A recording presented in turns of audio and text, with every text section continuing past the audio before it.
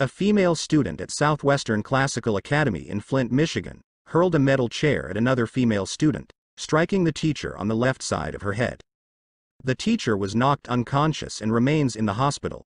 The two female students then began to physically fight each other.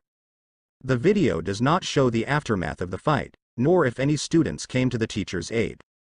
Superintendent Kevelin Jones issued a letter to school families to inform them of the incident, emphasizing how seriously Flint Community Schools takes the safety and well-being of both scholars and staff.